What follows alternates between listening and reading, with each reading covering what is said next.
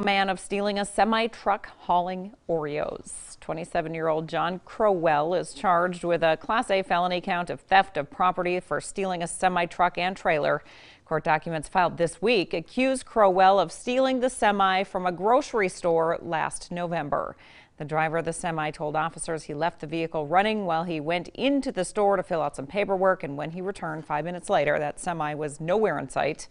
We decided to crunch the numbers and find out how many cookies were likely inside the trailer. Now, according to Nabisco's headquarters, a pallet of Oreos has about a thousand pounds of product.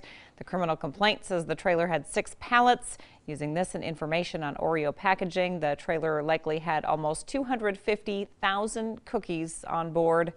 The semi trailer and its contents have been valued at more than $90,000. Cookies.